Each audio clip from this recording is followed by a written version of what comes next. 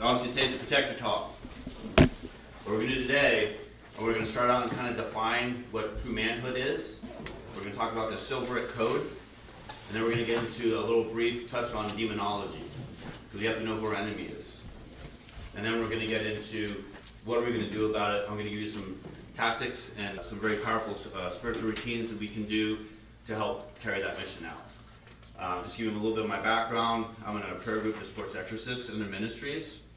And through some things God has allowed me to experience for, for years, I've been able to help other people. I work with uh, numerous uh, sexual assault victims, uh, both or, and physical, uh, mental health issues, you know, schizophrenia, bipolar.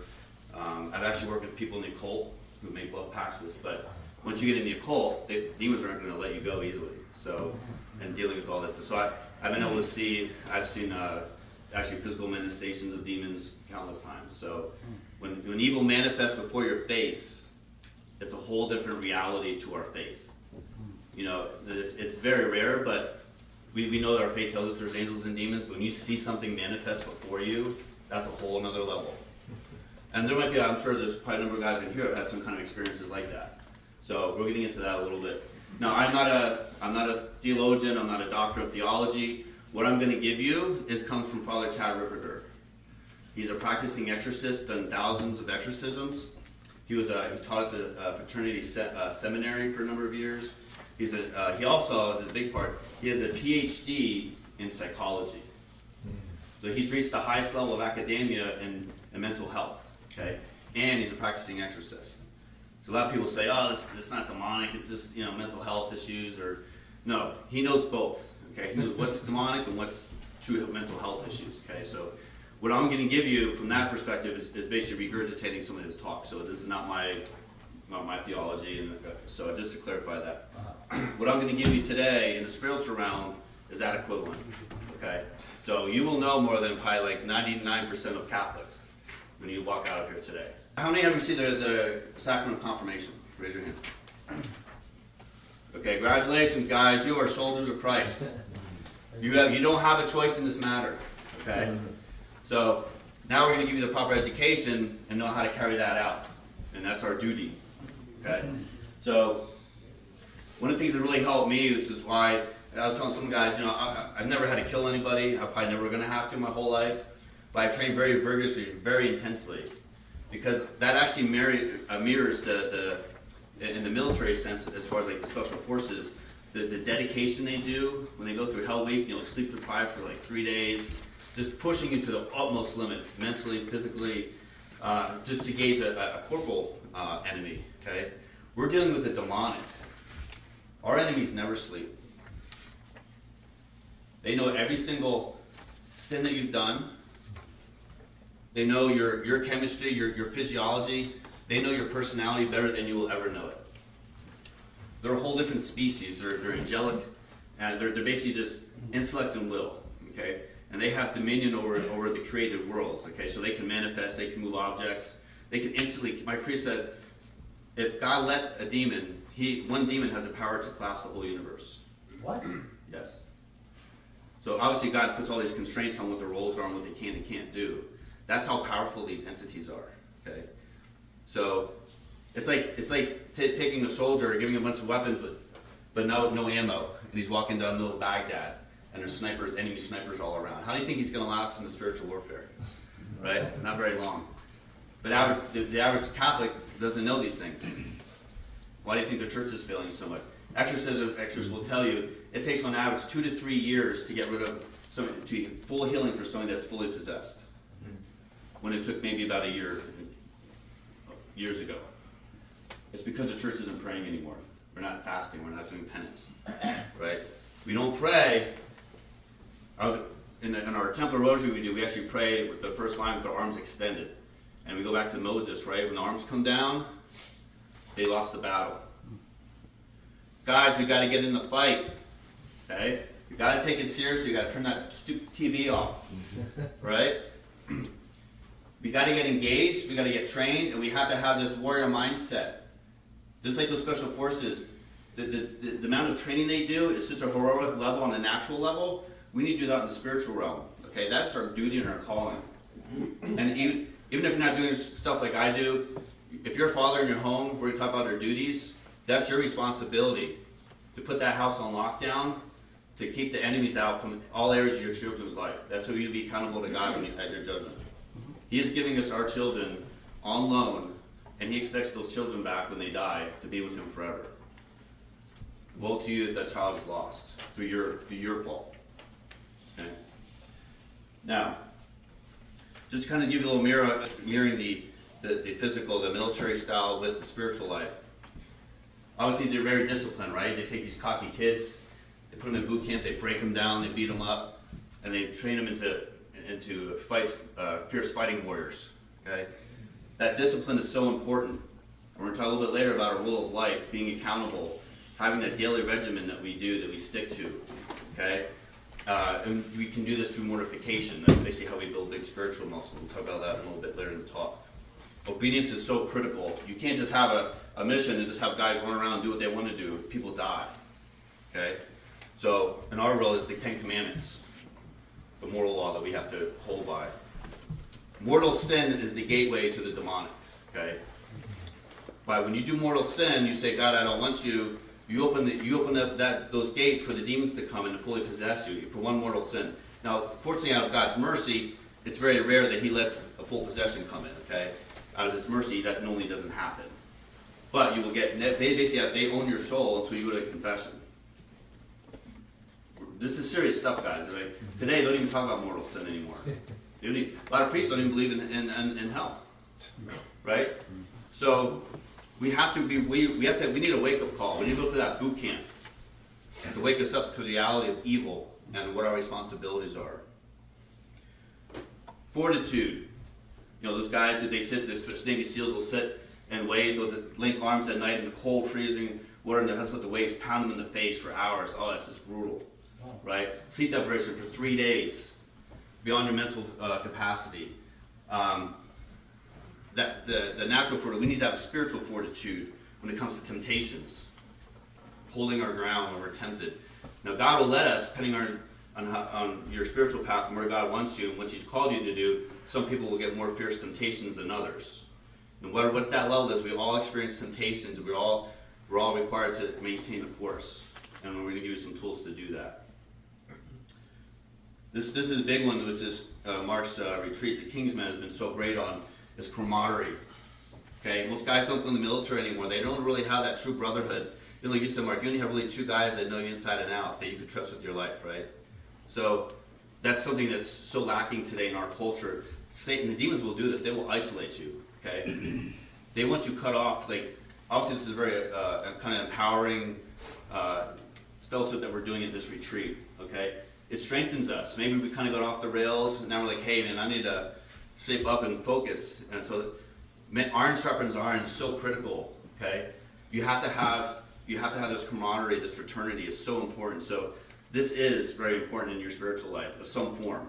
Okay, you don't come to this particular retreat. You need to have at least some buddies that in your church or faith community, men of faith, that are willing to hold you guys accountable, but also guys you can trust with your life.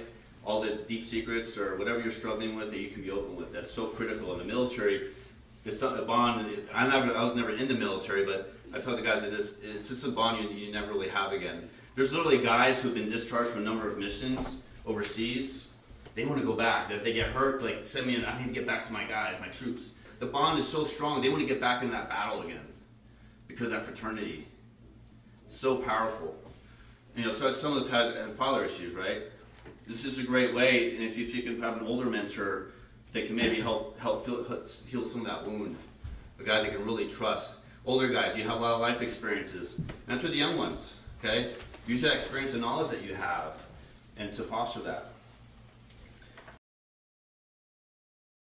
Something that God's really revealed to me in, uh, just a number of months ago, in, in defining what what is our standard as being an ultimate protector, and also as a Catholic man.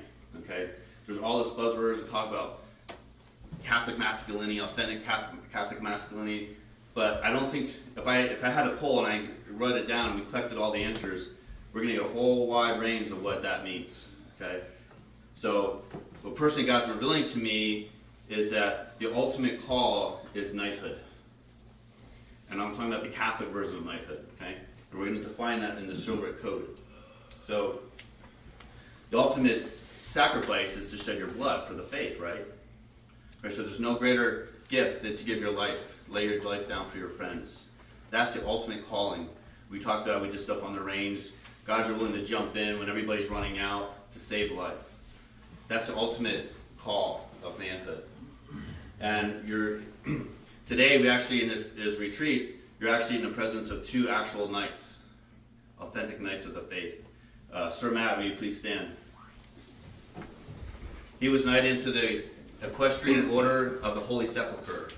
So those are actually an outgrowth of the Knights Templar, which are designed to protect the temple. So he had to get recommended only like usually it's done by either by a bishop. You have to get approval. It's not something. Hey, let me. I want to join up. It's not like the Knights of Columbus. This is actually the the true knighthood. Uh, he's actually taken a vow of chivalry, and we're going to find what the silver code is. So this is this is very very serious. It's even it's so rare these days. Most people even know. I, including myself, didn't even know about this stuff till about like six months ago. Okay, I, God's telling me like we need to bring this back. We need to set an ideal for these young ones. How do we train them to be fighters for the faith? And even our, and even our daughters. It's going to get so bad. One of our priests said that in the end times, unless you have the sacrament of con, uh, confirmation, you most likely will not keep your faith. That's all trying is going to get. Or think if you're living in China right now. The underground church is getting pummeled. They're in fear for their lives. A lot of them don't even get mass. Okay, we're going to talk about the rosary why that's so powerful. Um, so we need to have foster this. All this training is to foster this mental attitude, this fierceness to, for our faith and for our duties to defend the faith, know the faith, and, if, and have to use the sword to bring about peace if necessary. Um, I was actually formed, just recently knighted into the Sacred Military Constantinian Order of St. George. It goes all the way back to Constantine himself. These knights, it was formally recognized by a Byzantine emperor, later got uh, got protection from some papal bulls from the Holy See, the cardinals assigned. So I have lineage that always goes all the way back. So some of these actual knights of this order went on to join the Knights Templar and fight. And like my, I've taken vows to chivalry, and I can't tell you how much strength uh, it's brought in my life and the amount of virtue it's, it's helped to really focus on what my call. I really feel like I was remade when this when this knighting ceremony was done. I was really made at the cellular level. It's really hard to understand it's so powerful. You don't have to be formally united like Matt and I. You can still subscribe to these ideals in your own spheres. Okay, um, it's just it's very powerful. We need to bring this back. Uh, if you have pens, I take some notes. We're going to go into what the Chivalric Code is. And what I want you to do is I go through, I'm going to give you some examples of what some of these are, and you do an inventory of where do I stand. Maybe you're really strong in this area, maybe you're failing. Okay, that's where you need to put some attention in. Okay? The first one is fidelity. That's faith and loyalty to God, number one. and the defend of the church and the natural law. Something that's really coming under attack these days. Guys, like, I, I was a uh, third degree Knights of Columbus, and we, I can not talk about what the, the, the, actual rites are, but part of it is they, they catechize you, they test you on your faith. And this is the third degree, and the bishop was there, it's like, I'm, I'm, you guys are the leaders of the from the, in the lay perspective. You're supposed to be the leaders of the faith. They couldn't even, these guys could not even tell you the Ten Commandments. One guy didn't even know who the Pope was. It was so embarrassing. And these are, this is the third degree. We're supposed to be the leaders, and we have no clue what our faith is. What are we fighting for? We there's no excuse before God because we're so blessed in this time with this, I say, this diabolical um, uh, confusion where the faith is being watered. We're, we're getting all these modernist things in the church. But God knows that, and He gave us the internet. This is the one good thing about the internet is that I have access. We can, you have access to go back to all these Pope encyclicals, get the Council of Trent. Uh, I was doing with Theologica. There is no excuse. If you know the starting line of your football team and all the stats, and you don't know the Ten Commandments inside and out, you're not serving God. If you want to do a spiritual inventory, gentlemen, count up all the numbers of hours for your free time you're spent on the, the either social media, leisure, uh, watching TV. I'm not spending good quality time like throwing football with your kids. Hey, that's what you should be doing. But if you're taking all this personal time, some of those hours and some of the hours you're doing stuff with God or for your the sacrament of matrimony, right? So, or how much time you spending with your kids, how much time you spend going to prayer, spiritual reading, sum all that up and, and weigh that and we'll see where you're at. That's who you serve. Okay? Now I'm not saying leisure is good, it's actually a virtue in itself, but it has to be properly restrained and tempered, okay? You can't just be on leisure all the time when you're not working and absent from your family. So loyalty to God, and also kind of mirrors with justice, what's due to God. Um, next one is honesty, integrity, doing the right thing at the right time. And where's Connie? I want to touch on something he talked about the, the girls, right? Yeah. This is something that is so misunderstood. What true masculinity is. Christ. We were just talking about a, a little table discussion. Christ was bold. He called them out "You're a wolf." He threw tables in the temple. Mm-hmm. He had just anger. But Mary Magdalene, he was very compassionate, right? So you see this two, this compassionate Lord and this and this uh, warrior Lord, right? And what our priest said from regarding the on term of priesthood said, we, we need to be a lion from the pulpit and a lamb in the confessional. Mm-hmm. So how you balance masculinity, this we're accentuating this retreat the, the, the, extreme side of masculinity, right? We're doing all this good guy stuff, but, but, but if you're always in that mode, that's, that's disordered, right? Like, so if you're drill sergeant with your family all the time, I struggle with this too, because I'm very regimented, and like, come on, let's go, we gotta get this, and like, I had to back off, I had to learn, like, hey, I'm too hard, like, you know, I gotta be compassionate, more tender with, with some of my, with, with my daughters as well. So, you can't be always in, in uh, combat mode, okay? So, uh, my girls like to do Scottish Highland dancing. They get little the the kilts and their ballet shoes. Um, now I'm not, I used to don't dance, but I was a fitness instructor and I used to do uh, fitness classes for their dancing. So all these little girls in there were doing some exercises, but they love it. They, and the other girls, because their fathers don't come to see them dance. But I'm always there with them, almost like a father figure to some of these girls. So I'm always at all the, I go to all the, as much as I can with my job, with vacation, I try to go to all these uh, dance competitions and I help the girls out. So yeah, I'm up there doing some girl stuff, and they have the guy at the after the end. They, they try to raise money, so they have the guy, the adults, the guys try to go up and do these dances, and we make fools of ourselves, and so. Can but, show us? Maybe next time. Uh, so you have to know when to be compassionate and merciful, and when to be that warrior. If somebody breaks in your house, you better go commando. But you need to be ten, you, you have to give your daughters a physical affection, hug them, uh, kiss them, tell them they're beautiful. That's so. But so many girls have said that they, they really struggle with uh, self worth. They're concerned about their beauty and, and are they pretty? Yeah. All right, and they have such unrealistic standards in the media. As a father, the most best thing you can do if you want your daughter to have a healthy relationship and not marry a jerk is show that, that she's valued and she's beautiful and she's loved. Even if she's not physically attractive, there's something beautiful every every female. Some gift that they have, some talent that they have. Find that and accentuate that.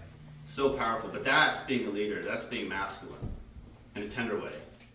Just like when we open the doors for ladies, actually theoretically, because like we're leaders, uh, we're leading women. Theoretically, we should be going first to that doorway, but, but we don't, because we're submitting our authority and opening it up for the weaker, right?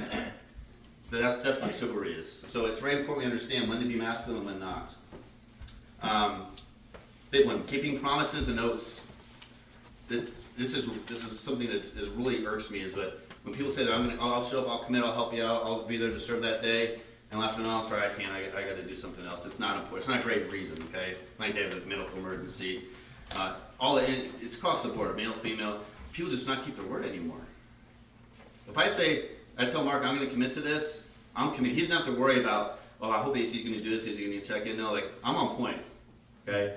If I give my word on something, I'm going to make sure I'm on time too. Unless there's some something outside of my circumstance that prevents me, I'm not going to be a minute. I'm always at least 15 minutes early. It's better to be an hour early than a minute too late. Okay. Be prepared, gentlemen. Have this diligence. Uh, honesty comes with uh, as well as prudence doing the right thing at the right time. Actually, something uh, you may not know is workaholism. That's a sin of sloth. And you're like, what? this doesn't make sense. You're not doing what you're supposed to be doing at the right time. Now, I understand that sometimes you have a project you're working on, or, or like you know, my job, I have a, my work kind of goes like this, hot, and then goes like this, right? So there's some times in the first week of the month I work a lot of overtime, but other than that, I'm out at five. I'm out the door at five every day.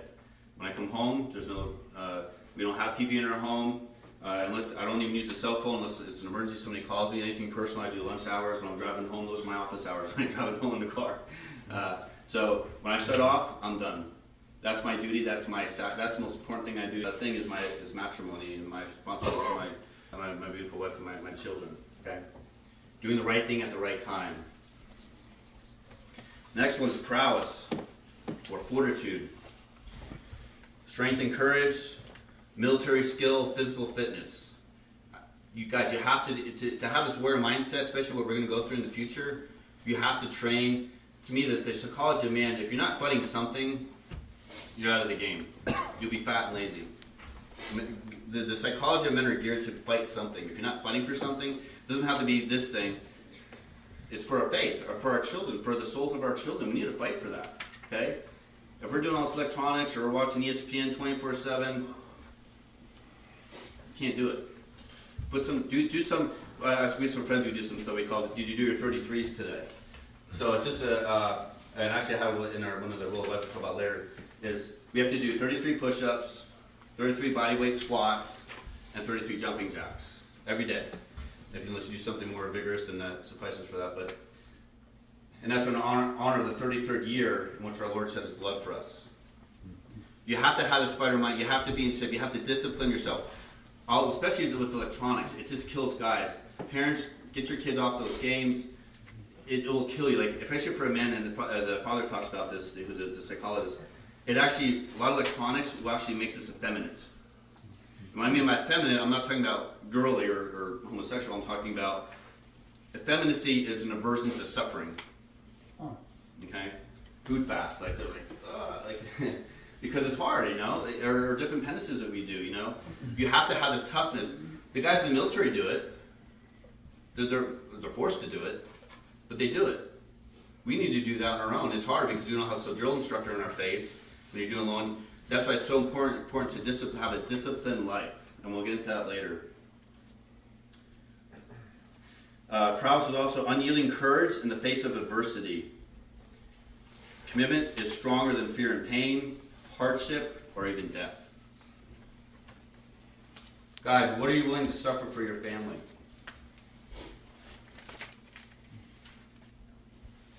Think about that.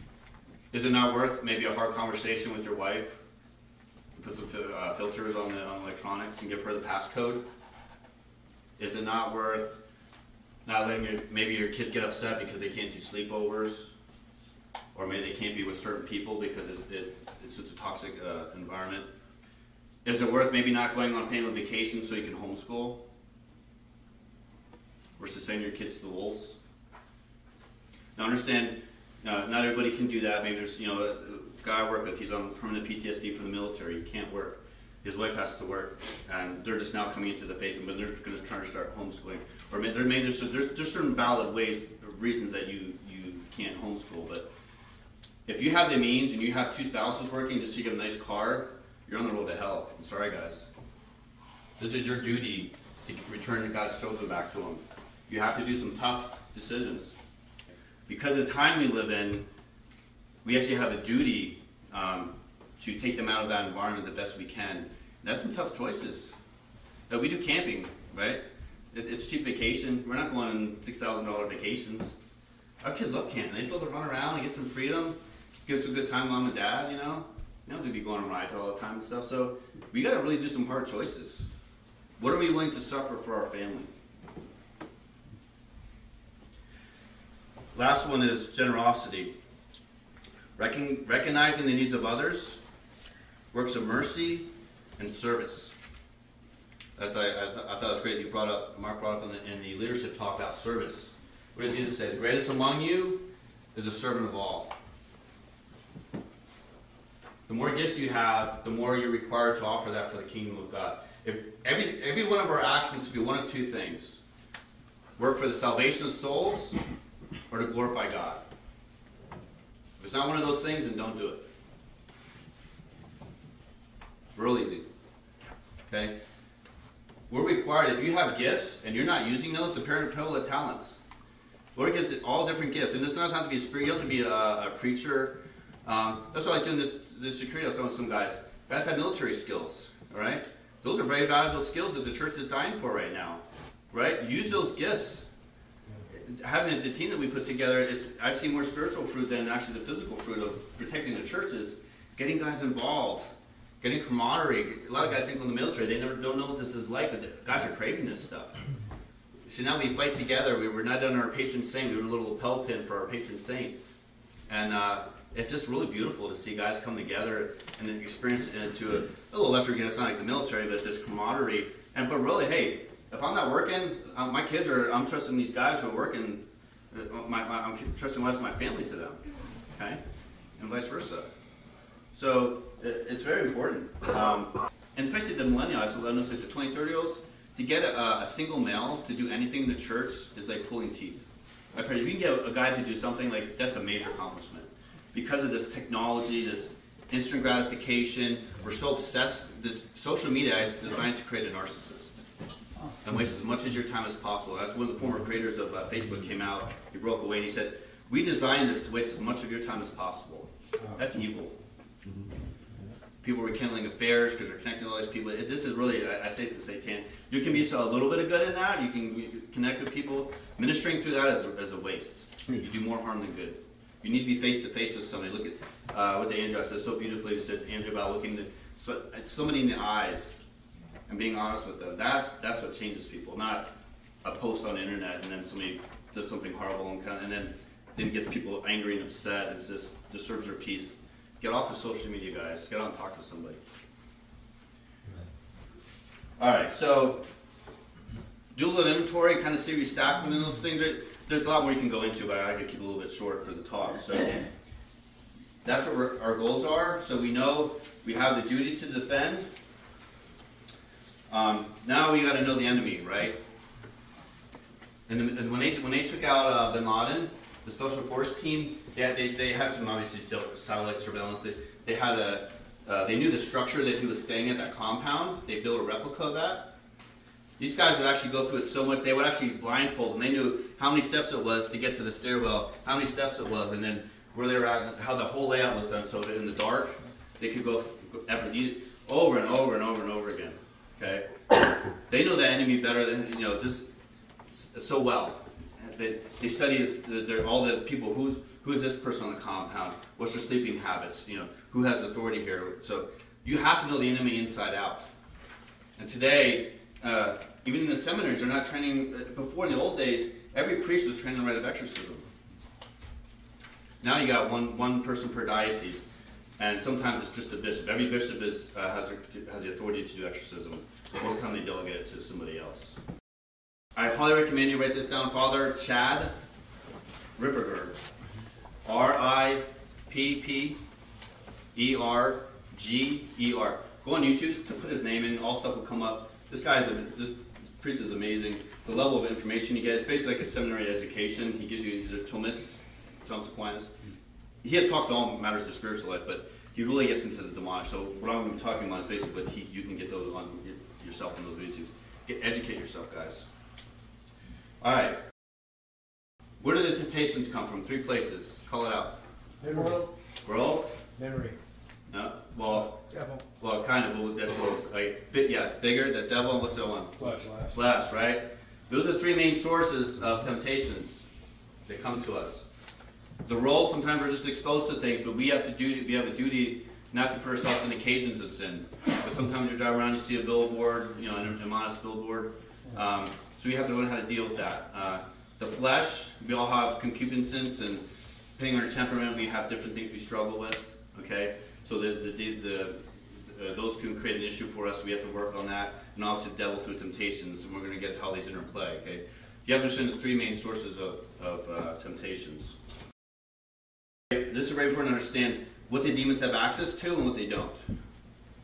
They have access to your, your memory and your imagination. They don't they don't know your thoughts. It's, it's kind of weird because how the the psychology of the mind is it's, it's just totally fascinating. I've been really studying a lot of psychology lately. Um, they, they can't touch your will. They cannot force you to do anything. They can. It's like leading a, a horse to water. Like they can lead you places, but you have to give the authority to commit that sin. They can make it really, really, really, really hard, but you have the ultimate will. God will not let them touch your will. Now, memory and imagination. Anything you've ever seen or done is stored deep down here somewhere. I have a bad memory. Like, I my wife gets frustrated with me sometimes. She'll tell me something, I'll, I'll forget what she said, or I'll, I'll bring it up later, and she's like, "Why we were just talking about that?" So it came up in my head. So I have a bad memory. But anything that's stored down doesn't mean it's not in my memory because I can't think about it consciously. So I'm sure all of you have experienced this. Maybe you're praying the rosary. Maybe you're doing an hour of adoration, and all of a sudden, man, this like impure thought pops in your head or maybe at work, I work, I do numbers, and you know, I'm an accountant, and uh, very dry stuff, and all of a sudden, somehow these horrible temptations come in. It's like that's a demon, that's a demon attacking you. Now it's different than if you're sitting around and you see a beautiful woman and you start looking at her, and then, well, she looks, you know, and your mind starts going. That that's you. You've done that. Okay. But if something comes out of the blue like that, or some memory like, whoa, where did that happen from? You've given them armor to torment you. There's a actually just from what I understand, it was real. Uh, in a couple centuries, there's a there's a desert monk, and he had to go into town for something, and just happened to see a beautiful woman. She wasn't in Moscow, just a really beautiful woman walk by. When you're in this desert, there's nothing. You're around rocks. Okay, a beautiful woman walked by, and he said the devil tempted him for 40 years with the image of that woman. So, guys, you're gonna watch porn. You just give the demons a whole bunch of stuff to play with. Uh, girls you've sinned with and, uh, and impurity, they can call that up anytime. They also have access to your bodies. They can stimulate your sexual passions. They can cause illnesses.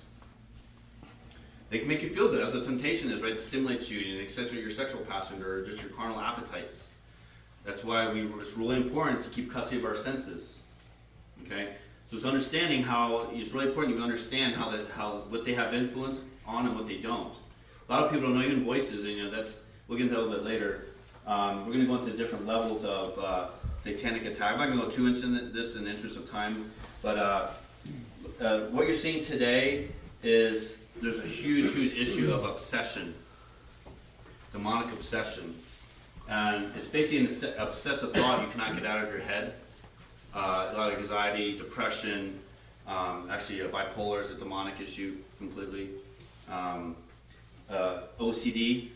And if it's something little like I have to walk around my car five times before I can leave, otherwise I, just like that's a demonic thing getting us, and it's an obsessive disorder. But bipolar is basically you see these massive changes in personalities. Because basically the d- demons don't have to like constantly be on you. They might what this bipolar is that they'll come in, they'll influence you, and you almost become like a different person. The demons will influence them and just take them to all these extremes, and all of a sudden then they'll let them go, and then they kind of come back, and it's really like a different person. It's really crazy.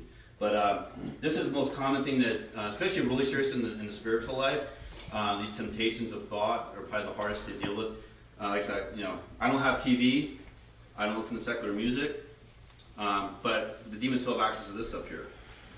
So even if you've done everything you can possibly do to guard yourself, doesn't mean they're not going to get you. So, uh, and part of that was God, like God gave St. Paul a thorn in the flesh to torment him, keep him humble. Okay, so we have to be very careful about that. And this is, you write this down. This is this is one of these big weapons, these uh, top secret weapons in the spiritual life that almost very few people know about, including priests. And Father Ripperger actually talked about this where I heard it from, so it's coming from legit source. It's a it's called a spiritual contract or maybe like a habitual intention. You don't need a priest to do it. I didn't wear it to, to the, I have a religious ring as a Benedict uh, um, medal on it. You can make a spiritual contract with God. And what you can do, you can attach prayers to either an object or like an action that you do. Um, I, I, I, prefer that the actions because actually doing something. For example, um, we'll get into later where the demons can actually like basically make your mind go blank. Um, so, so you can do a prayer. So I, when I said to God, when I kiss this ring, I'm really getting assaulted. I can make this contract. I have about probably half hour's worth of spiritual, very powerful prayers attached to this when I when I enact this, if it's so uh, when I can't even think about what I'm doing, I can do this for instance temptations, and then all these prayers are enacted. You, you do this. I wish to make a personal intention. When I do this action, and you, you do it fully one time, you can call upon that in the future. And it's, it's so powerful, and it, that's really limited to your faith, how, how big you want to go. So I actually do, if I'm getting tempted by the sin of the flesh, I actually offer for uh, purity for the world, chastity for the world. Uh, pray for the soul, the salvation of those, if they choose to tempt me with a person, for that soul. Okay? And I nut it to the scourging at the pillar. When you feel like your flesh is being just raped by the demons and trying to get you to sin of the spirit and stuff. So very, very, very powerful stuff. Real quick, infestation, that's just, you know, hauntings. Uh, they can be attached to uh, stuff that's cursed objects. You can have some demonic activity. Uh, possession, we're not going to talk about too much. It's very rare, acting in some really strange ways. That's because their will is not uh, does not want the possession, but the demons are acting. So what you see a lot today is perfect possession. And that's what basically a Satanist, where their will is perfectly united to evil. So there's no battle in the soul to get rid of the demons. They're perfectly united to that. A lot of your, your most powerful Satanists are not these like heavy metal guys or this guys that do the public masses. Those are just they're still Satanists, but they're kind of like wannabes.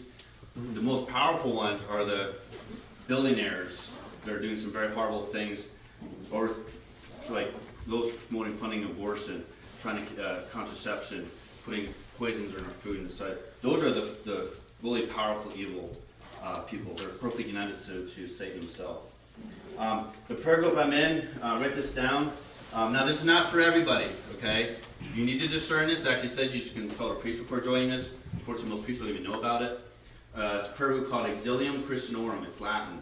Or you can get an app. I recommend the cell phone app. It's, it's free. Um, what it is, is it's a prayer group that supports Exorcist Ministries.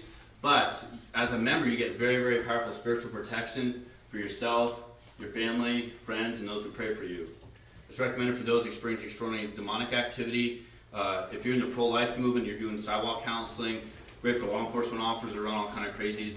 So if you're in the battle in the trenches, it's very highly recommended. Now, uh, one of the, the, there's no formal um, registration you don't to pay money. You just make some of the requirements are you have to commit to a daily rosary, uh, devotion to Saint Michael, um, and if you're struggling with um, currently struggling with falling into mortal sin and an habitual nature, this, do not do this group. Okay. If you decide to join this group, don't, don't for a couple weeks or so and then say, oh, I'm done. I don't think do this anymore. You really have to discern this because they will they will pound you if you stop the demons. This is very very serious. But the prayers we're going to close with one of the prayers.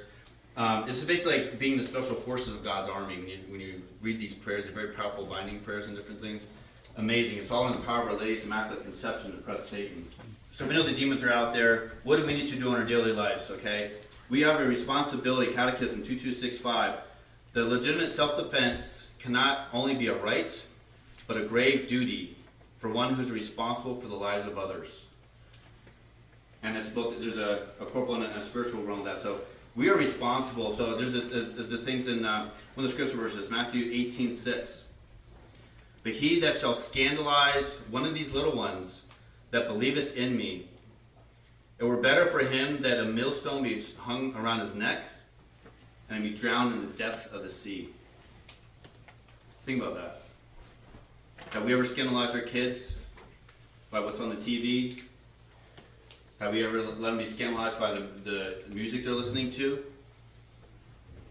Or even our actions? That's some pretty tough words. We have to put our house on lockdown. One of the things we need to do, actually, there's a, a, a mystic back in, uh, I think it was early 1800s. Uh, she saw the Satan in a box. And this is before TVs came about. Mm-hmm. Even watching football on Sunday, nothing wrong with football in itself, but if you're watching football with your kids and these like cheerleaders are like, half dressed around, shaking their, watching the beer commercials where they're promoting fornication, uh, debauchery, all these mortal sins, you're scandalizing your kids, guys. I'm sorry, it is, it is what it is. Social media, no. Mail, guys, watch, watch the magazines. There's all kind of. I have a hiking magazine. I had to go rip out these pages for these ads of girls in jumper rocks and bikinis. I mean, it's horrible. Um, you want to keep uh, custody of the eyes and senses. Watch what comes in and out. Okay, eyes. This is where we sit in the five senses. Touch being one of them. We've got to guard those and put them on lockdown. Real quick, everybody, the handout I have, the rule of life. They're talking about being disciplined soldier, right? If we're not in a regimented life that has accountability, we're, we're not going to be too effective. This is a stripped down version. Uh, I don't even kids should be doing some of these things. Morning offering, you get up, offer the dice, uh, trials, all your good works uh, to the obviously you can also to the, offer to the Sacred Heart, to the Immaculate Heart. Do that morning offering. Our priest says, do three Hail Marys for purity. Okay, when you get up. Mortifications, you be lose five little mortifications a day. Uh, one of the saints said you should never leave the table wanting something. Or you should always leave the table wanting something with food. Maybe you don't put salt in your food. Maybe you don't have dessert. Okay, maybe a fasted meal, whatever.